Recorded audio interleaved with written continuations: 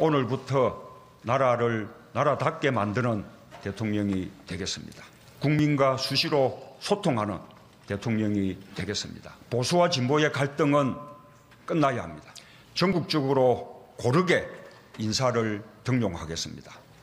저에 대한 지지 여부와 상관없이 유능한 인재를 삼고 초려해서 일을 맡기겠습니다. 기회는 평등할 것입니다.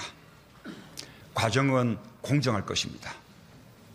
결과는 정의로울 것입니다. 기회는 문재인처럼, 과정은 조국처럼, 결과는 윤미향처럼, 대출은 이상직처럼, 지시는 추미애처럼, 대답은 김현미처럼, 뻔뻔하려면 최강욱처럼,